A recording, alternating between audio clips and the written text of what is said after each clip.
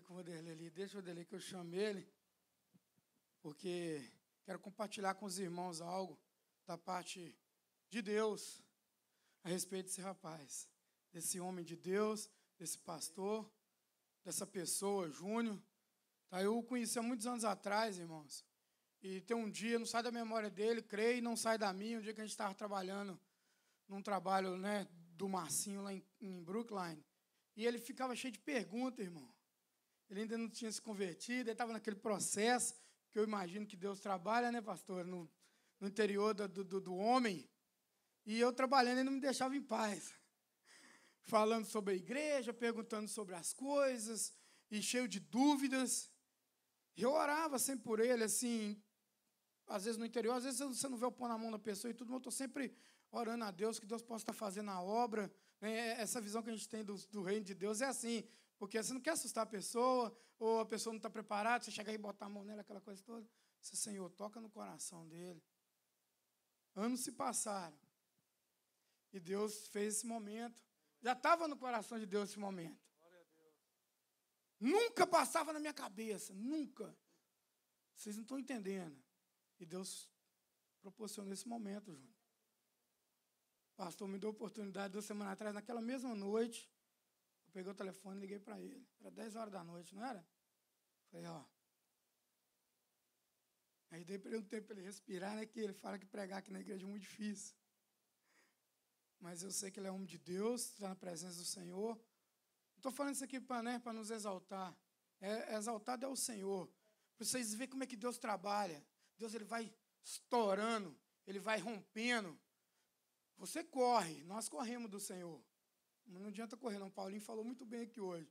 Quando Deus né, já deixou declarado que vai ser, vai ser. Está aqui o pastor Júnior, homem de Deus, né? Ele chamou o pastor Wesley aqui para estar tá orando por, por ele também. Sabemos que já está na presença do Senhor, mas eu queria compartilhar. Anos atrás, Deus me deu a oportunidade de falar do Senhor Jesus para ele e deu oportunidade a outros também. E esse né, parceiro de, de seminário, muitos anos também. Estuda, irmão. Dedica. Trabalha do lado do pastor Fernando. É do Ministério Catedral de Adoração. Está com nós, está junto com nós. Trabalha lá em Walton. Mas a gente tem visto, né, pastor? A garra, a, a, a dedicação. Por isso que eu não, não, não hesitei. Quando o pastor falou comigo, viu o nome do Júnior. Então, para honra e glória do Senhor. A paz do Senhor Jesus, amém? Vamos colocar de pé, amém? Vamos colocar de pé. Pai, nós queremos te dar graça, nós queremos te louvar, nós queremos te bendizer. Pai, que momento glorioso, que momento especial, Pai. Está aqui a vida do pastor Júnior, Senhor. Pai, um homem que a gente já conhece, Senhor, está ali com o braço direito, trabalhando ali, Senhor, no teu ministério. Pai, que tu venha usá-lo, Senhor, falar aquilo, aquela mensagem que tu já tem, ó Pai, preparado o teu servo e que nós viemos aprender nessa manhã, que tu venha nos ensinar nessa manhã, ó Deus, a tua maravilhosa palavra, Senhor. Ser com teu filho, usa-o com poder, com autoridade autoridade. É o que nós te pedimos, Pai, no nome de Jesus. Amém. Amém. Pai do Senhor, igreja. Amém. Pode se sentar um segundo. É, glória a Deus. É, o Renato falou, é verdade, o evangelista. Na verdade, eu já era convertido, mas eu tinha muitas perguntas mesmo, e ele me incentivou muito.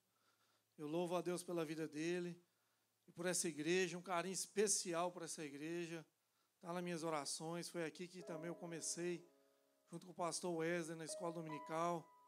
E todo dia que eu, que eu vim na escola dominical, Deus ministrava no meu coração. Essa escola dominical é um presente de Deus para a sua vida. E eu falo para vocês aqui da igreja, continua sendo um presente para quem está aqui, continua firme estudando a palavra, que vale a pena aprender da palavra do Senhor. Então, essa, eu, eu sou lá de Alta, do pastor Fernando, igreja do pastor Fernando. Ele mandou um abraço para o pessoal. Confesso que eu estava ali impressionado com a igreja, como está tudo é lindo, o louvor a quantidade de pessoas. É, é, vale a pena servir a Deus. Deus é fiel e realmente Ele tem feito. As promessas do Senhor se cumprem. E eu não quero é, Pastor Wesley, a missionária Grazia sabe do carinho que a gente tem por eles. Eu não vou me, me alongar muito. Vamos direto para a palavra. E, e, e eu estava ali, Deus ministrou algo no meu coração praticamente mudou a minha, a minha, o meu início de palavra e Deus tem essa liberdade. E eu estava ali de lá, eu olhei o pastor Wanders. Isso tem tudo a ver com a minha palavra. E, e eu lembrei de um dia que ele foi lá em um alta pregar na parábola dos talentos. E eu estava naquela época começando o seminário e eu estava pensando em desistir. Porque o inimigo ele tenta colocar na sua mente que você não é capaz, tenta colocar na sua mente que você não vai conseguir. E eu senti essa pressão muito grande. Eu chegava para estudar, só tinha pastores, às vezes presbíteros. Eu falava, meu Deus, o que, que eu estou fazendo aqui? E ele pregou sobre essa parábola dos talentos e aquilo me deu uma injeção de ânimo. Deus falou comigo e eu não abandonei, eu continuei. E glória a Deus, hoje eu estou aqui. E uma coisa que eu quero falar para vocês aqui, caso vocês esqueçam de alguma coisa, é para você não desistir de maneira nenhuma, é para você não parar de maneira nenhuma, é para você continuar na obra do Senhor, custe o que custar. E tem um personagem bíblico que ele me, me que eu quero falar para vocês que me ensinou muito sobre isso. E esse personagem é Neemias. Nós vamos estar abrindo a palavra em Neemias capítulo 6. Um homem que deu exemplos de, de perseverança em meio de tudo quanto é oposição, ele continuou. E às vezes, irmãos, a gente quer parar e quer desistir, não não por, às vezes, opção, mas às vezes o inimigo se levanta de tal forma que nós não entendemos o, o e queremos desistir. Mas Neemias 6 diz assim a palavra do Senhor. Neemias 6, vou estar lendo do 1 ao 9. Texto conhecido de todos. Eu vou tentar não me alongar, irmão. Sei que o pessoal quer almoçar, mas vamos, vamos a palavra do Senhor primeiro. Quando Sambalate Tobias, Gesem, o árabe e o restante de nossos inimigos souberam que eu, que eu havia reconstruído o muro e que não havia ficado nenhuma brecha, embora até então ainda não tivesse colocado as, as portas nos seus lugares. Sambalat e Gesem mandaram-me a seguinte mensagem: Venha, vamos nos encontrar num dos povoados da planície de Ono. Eles, contudo, estavam tramando fazer-me mal. Por isso, enviei-lhes mensageiros com essa resposta: Estou executando um grande projeto e não posso descer. Por que, por que parar a obra e encontrar-me com vocês? Eles me mandaram quatro vezes a mesma mensagem. Toda, todas as vezes eu, eu lhes dei a mesma resposta. Então, na quinta vez, Sambalate mandou-me um dos homens de confiança com a mesma mensagem. Ele tinha, ele tinha na mão uma carta aberta e estava escrito, que estava escrito: Diz entre as nações, e Gesem diz que é verdade, que você e os judeus estão tramando uma revolta e que por isso estão reconstruindo o muro. Além disso, conforme dizem, você está na iminência de se tornar o rei deles. E até nomeou profetas para, fa para fazerem em Jerusalém a seguinte proclamação a seu respeito: há um rei em Judá. Ora, essa informação será levada ao rei. Por isso, vamos conversar. Eu lhe mandei essa resposta. Eu lhe mandei essa resposta. Nada, nada disso que você está que está acontecendo é pura. Eu lhe mandei essa resposta. Nada disso que você diz está acontecendo. É pura invenção sua. Estavam todos tentando intimidar-nos, pensando, eles serão enfraquecidos e não concluirão a obra. Eu, porém, orei pedindo, fortalece agora as minhas mãos. Até aí, Senhor Deus e Pai. Aqui está a sua palavra, Deus. Como eu já falei, o Senhor tem toda a liberdade de tirar, acrescentar, Senhor.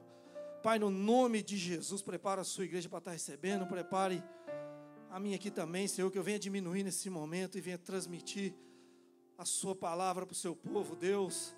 Toca os corações desde já, e se porventura tem alguém pensando em parar, Senhor, já vai trabalhando no santo nome de Jesus, amém. Glória a Deus, como eu falei lemos o capítulo 6 de Neemias, e no capítulo 6 de Neemias fala sobre uma oposição, eles estão reconstruindo os muros de Jerusalém. Voltando um pouco ao contexto, irmão, nós sabemos que o livro de Neemias é um livro pós-exílico, é difícil entrar na mensagem de uma vez, a gente tem que falar um pouco, mesmo tentar falar rápido, mas é um livro pós-exílico. Nós sabemos que a Babilônia veio, destruiu Jerusalém em 586 anos de Cristo tomou Israel, levou Israel cativo, mas a, a profecia de Jeremias duraria 70 anos e chegou a hora do povo voltar para Jerusalém e restaurar os muros, restaurar a cidade, restaurar a lei do Senhor. E no capítulo 6 de Neemias, nós encontramos isso, uma oposição, uma oposição de homens usados pelo inimigo, Sambalate, Tobias, Gesem, e nessa oposição eles chamam Neemias para conversar, para parar e encontrar com eles na planície de Ono. Irmãos, essa planície de Ono ela é localizada entre Samaria e Asdod, perto de Jope, perto do Mar Grande, seria um pouco longe. E Neemias teve discernimento naquele momento, ele escuta aquilo e fala: peraí, parar para encontrar lá longe esse pessoal. E Neemias tem discernimento e ele, e ele para e pensa. E eu estudando sobre isso me lembrou das, da trajetória da oposição deles. Quando você volta, ele está chamando para encontrar e conversar agora. Mas quando você volta no capítulo 2 de Neemias, ali já começa a oposição. Ali o, inimigo já começa a se irritar. Quando você chega no capítulo 4 de Neemias, o povo, os inimigos começam a zombar de Neemias. Começa a falar que ridicularizar começa a olhar para ele e falar que isso não vai dar em nada, que a obra não vai dar em nada. E Deus ministrava no meu coração, é desse jeito que o inimigo quer fazer com a gente, ele quer zombar da gente, ele quer falar, você não vai dar em nada, você vai lá em Somerville pregar, você não vai dar em nada, você não vai dar em nada, você vai ser envergonhado. E não somente isso, Tobias ainda fala, se até uma raposa subir nesses muros, esse muro vai cair. Então o inimigo está atacando com zombaria, o inimigo está querendo ridicularizar, e não bastante, o inimigo, os opositores, aqueles três homens opositores e o grupo todo, pegam espadas para tentar atacar o povo de Deus, os judeus em Jerusalém. Por que, que eu falei tudo isso, irmãos? Se o povo está tentando atacar com palavras, ridicularizar, se o inimigo, os opositores, estão tá tentando atacar com espada para matar, agora o inimigo vem chamar para conversar e se encontrar com Neemias. Irmãos, Neemias é um homem de discernimento, é um homem de Deus, e na hora que ele vê aquilo ali, ele já tem a percepção e fala: peraí, aqueles que quiseram me matar agora querem me encontrar para conversar. Deixa eu falar com você, igreja, deixa eu falar uma coisa para você nessa manhã.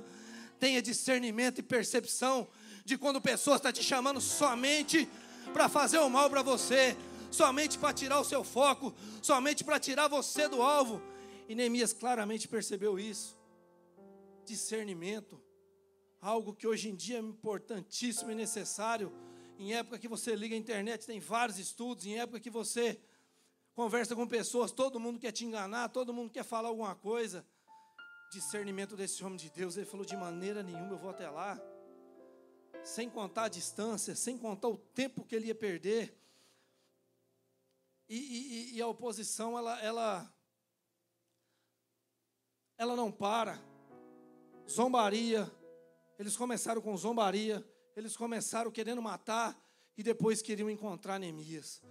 E, e, e, o que Deus ministra no meu coração, amados, que, o, que os opositores da obra, os opositores do reino do Senhor, ele vai tentar de tudo para parar a gente. Ele vai tentar de todas as artimanhas para parar a gente. Mas nós olhamos, olhamos a, a passagem de Neemias 6, nós continuamos, você percebe que a obra de Deus continuou, você percebe que os muros continuaram a serem erguidos, as brechas foram fechadas, faltava só as portas, e Neemias não deu ouvidos a ele. Por quatro vezes mandaram a mesma mensagem. Por quatro vezes Neemias falou a mesma coisa. Estou fazendo uma grande obra e não posso parar. Estou fazendo uma grande obra e não posso parar. E a palavra que eu vim ministrar no seu coração é: não pare por nada. Não pare por nada. Às vezes você está começando a caminhada com dúvida, como eu estava, com pessoas falando mal da igreja para você. Continua. Você pode não estar tá entendendo agora, mas continua.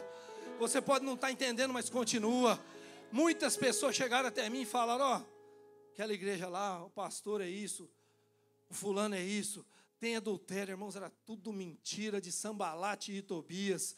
E eu vim ministrar para você nessa manhã. Não dê ouvido a nada, não pare por nada. No nome de Jesus, a obra continuava. E Deus ministrava no meu coração, o livro de Neemias não é só sobre oposição, são, é um livro muito rico e tem vários ensinamentos. E eu queria até parar um pouco, abrir uns parênteses aqui, para ver um pouco da vida de Neemias, deixando um pouco de lado a oposição, a vida de Neemias. E Deus ministrar no meu coração, nós estamos num culto dirigido pelos homens. E Deus ministrar no meu coração, homem, homens, precisa do quê? De atitude. As mulheres também. Mas eu quero falar um pouco para os homens e as mulheres recebem também. atitude de Neemias. Quando eu olho Neemias no capítulo 1, a Bíblia fala que Neemias ouviu falar da dificuldade que estava Jerusalém.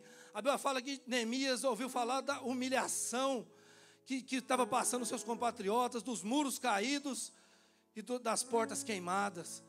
Não tinha lei do Senhor, não tinha mais nada.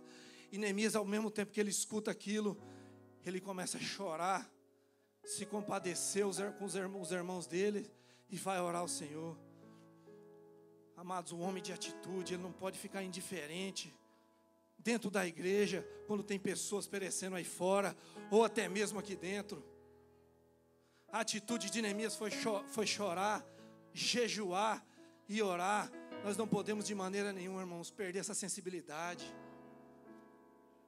Perder essa sensibilidade. Deus falava comigo, às vezes nós estamos tão preocupados em mexer, trabalhar na obra, tão preocupados. Eu me lembro lá na igreja, eu e o e um irmão montando o som. Acabava o culto de terça-feira, nós montava, desmontava aquele som. E às vezes nós esqueci de conversar com o visitante. Chegou um dia nós reunimos e falamos: não, peraí, depois nós desmontamos isso aqui. Às vezes essa pessoa está precisando de um abraço e de uma palavra. Então a atitude do homem de Deus é, é se compadecer, é sentir, é ter empatia, é, é se colocar no lugar do outro, se colocar no lugar do próximo. E Neemias faz isso, e a Bíblia fala que, vou passar rápido alguns pontos. A Bíblia fala que ele ora, ele consegue o favor do rei, e ele vai a Jerusalém. Um homem de atitude, ele não fica parado de maneira nenhuma. Ele chega na igreja, ele aprende, ele aprende na escola dominical, ele sabe dos problemas e ele começa a agir, ele começa a caminhar, ele começa a fazer para o reino de Deus, porque o reino de Deus tem pressa e o reino de Deus tem muito o que fazer, igreja. Você percebe que Neemias vai a Jerusalém. Quando ele chega em Jerusalém, ele faz uma inspeção dos muros. Ele não fala para ninguém, ele tem a estratégia dele. Quando ele fala, ele consegue mobilizar todo mundo e começa a construção da obra. Irmão, isso é atitude. Vou chegar até mais perto. Quanto, quanto, não sei se aqui vai cair. Não sei quantos homens. Irmãos, a gente não quer exortar ninguém, mas lá em Alta nós temos uma dificuldade. Às vezes são normal, três, quatro homens, 25 mulheres no culto. Irmãos, Deus nos chamou homens para ser o líder espiritual da nossa casa, para ser o sacerdote do lar, para ter atitude, para puxar a fila, para pegar a mão da esposa, ou você é solteiro, você vai primeiro, você faz primeiro. Neemias, um homem de atitude, ele não fica parado de maneira alguma. Eu estava pensando, e aqui Samuel pede para falar isso, homem de Deus. Brincadeirinhas à parte, mas não leva a mal, não.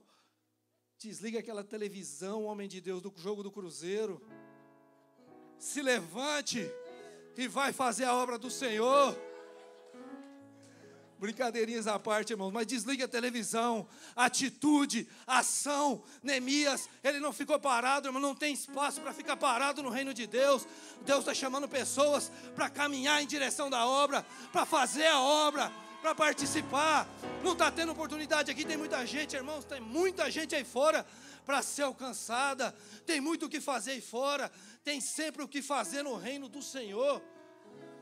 Glória a Deus. E Neemias, ele, ele, ele entende isso e ele inicia aquela obra e entra tudo quanto é oposição, tudo quanto é empecilho, tudo quanto é levante do inimigo. E eu volto para o texto onde eu estava. Tudo quanto é levante do inimigo acontece na vida desse homem.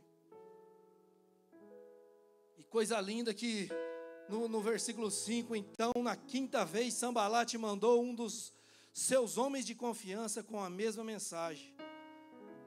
E com uma carta na mão, querendo parar Neemias mais uma vez e querendo levar Neemias para a conversa de novo. Só que dessa vez eles inventam calúnia no nome de Neemias. Fala que Neemias está fazendo revolta. Neemias está querendo se revoltar contra o rei. Irmãos, isso é algo sério. Calúnia, pastor Wesley. Às vezes quem está fazendo a obra de Deus, às vezes não. Quem está fazendo a obra de Deus, levanta-se calúnia, levanta-se palavra contrária, levanta pessoas para falar mentiras sobre você. E se você voltar atrás no livro de Esdras, Esdras foi acusado de revolta. Lá no livro de Esdras teve uma acusação de revolta e a obra parou. E agora tentam, o inimigo tenta usar a mesma tática, mentira, calúnia, revolta contra o rei para parar Neemias. E Neemias, homem de Deus, escuta aquilo com discernimento mais uma vez. E Neemias, Neemias escuta isso com discernimento. E, e, e eu lhe mandei essas respostas, Neemias, nada disso que vocês que está acontecendo. Vocês estão tentando me intimidar. Me intimidar, nos intimidar pensando, eles serão enfraquecidos e não concluirão a obra. Na tradução NVI está é, é, tá falando assim, na outra tradução é, fala diferente um pouco, mas eu estava estudando essa daqui e fui pesquisar, que fala, estão tentando intimidar, estão tentando fazer Neemias parar, estão tentando fazer Neemias largar a obra, e quando você vai, quando você olha o versículo seguinte, Neemias fala, eu porém orei, pedindo ao Senhor. Quando você vai ver esse porém, você entende que esse porém é um advérbio que expressa algo contrário ao que foi falado anteriormente. Você está entendendo o que eu estou falando? Deixa eu te explicar. Quando o inimigo quer parar Neemias, intimidar de todas as maneiras, Neemias fala: Eu, porém, ou seja, eu não vou dar ouvido ao que você está falando, eu não vou prestar atenção, eu vou ao contrário ao que você está falando, eu não vou parar, eu vou na contramão do mundo, eu vou continuar, eu não paro por nada, eu estou contra isso, eu não aceito isso, eu não quero isso. E Neemias, porém, orou ao Senhor, pedindo: fortalece agora, Senhor, as minhas mãos. Você percebeu o que, que o porém quer dizer ali? Ele vai contra. Deixa eu te falar para você, jovem, ou você às vezes já está casado com filhos, talvez lá no seu trabalho, na sua escola, ou talvez, ou talvez na academia, como já aconteceu comigo, em qualquer lugar que você tiver, tem pessoas jogando na sua mente palavra de derrota, que você não vai conseguir, que não vai dar nada certo. Mas aprende com esse texto. Eu, porém, não vou dar ouvido. Eu, porém, vou continuar. Eu vou contra isso que estão falando a meu respeito. Contra o que estão falando da igreja. Contra o que estão falando do pastor. E eu vou continuar a obra para a glória de Deus, para a glória do Senhor. Vai na contramão, irmãos. Às vezes é difícil ir na contramão. Às vezes é difícil ir contra o que está todo mundo propondo para você. Mas caminha na contramão do mundo e a favor de Deus, porque, como eu falei, a obra do Senhor tem muito o que fazer, irmãos. Tem muito o que fazer a obra do Senhor, ela, ela é maravilhosa. A obra do Senhor tem muito o que ser feito. Às vezes nós pensamos, irmãos, eu estava vindo para cá, agradecendo a Deus e pensando, vou pregar lá, mas tem, tem muitos pastores e obreiros lá. Mas se Deus chamou, a gente atende. E muitas vezes, irmãos, as, as, as pessoas acham que Pode, pode ser que está pensando que tem pouca oportunidade ou coisa desse tipo, irmãos. É tanta coisa para fazer no reino de Deus. É tanta obra aí fora. São tanta, tantas pessoas aqui mesmo na nossa vizinhança sofrendo, precisando de uma mão, precisando de uma palavra, precisando de um ombro amigo. Continua fazendo essa obra, continua fazendo essa obra, jovem, continua fazendo essa obra, você que está mais tempo na igreja, continua, como eu falei, o que eu vim falar para você aqui é para você não parar de maneira nenhuma, é para você não retroceder de, retroceder de maneira nenhuma, é para você continuar. Você que começou hoje, talvez, continua, continua, porque Deus é contigo. E nós vemos no livro de, nós vemos no livro de Neemias algo claro estampado aprendi com o pastor Wesley.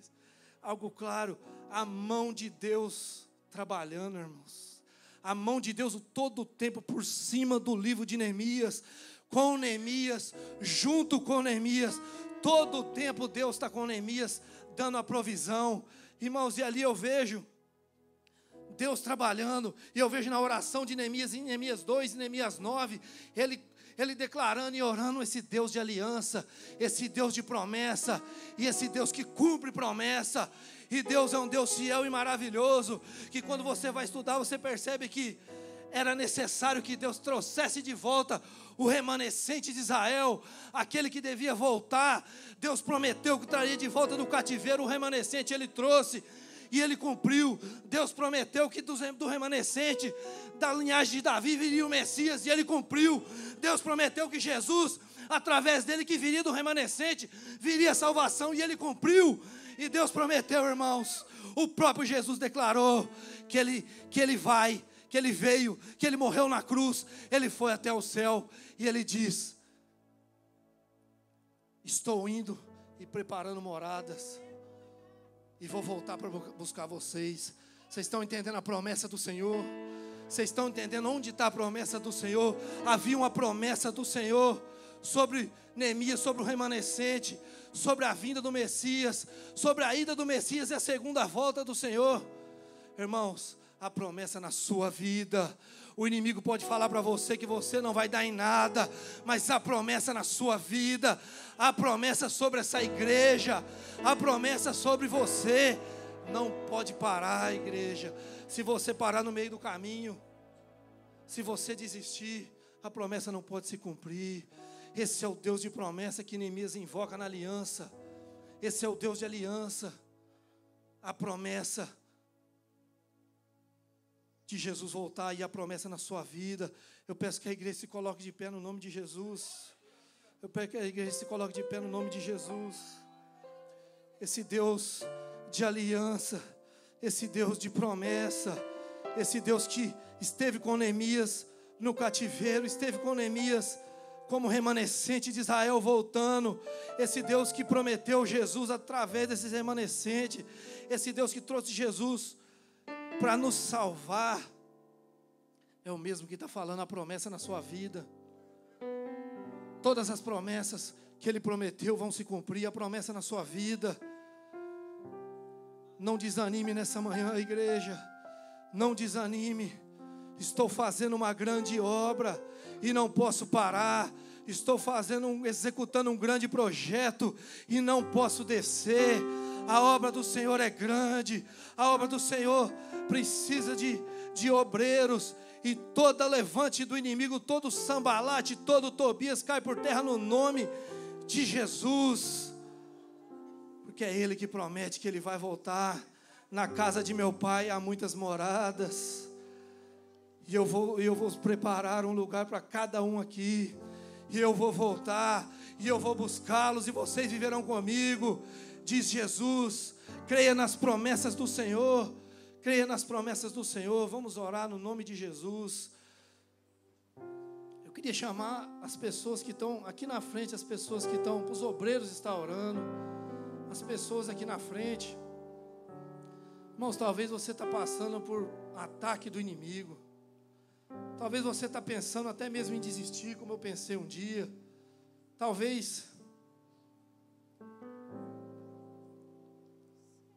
as coisas estão difíceis para você. Nós queremos somente ministrar uma oração de que Deus vai fortalecer suas mãos, de que Deus é contigo, de que Deus que promete, Ele cumpre. Se tem alguém que quer, que quer, os obreiros vão estar orando aqui. Se tem alguém que precisa dessa oração, irmãos, é uma oração de fortalecimento, é um abraço, talvez, talvez é um, é um você está você está passando tudo quanto é prova nesse momento.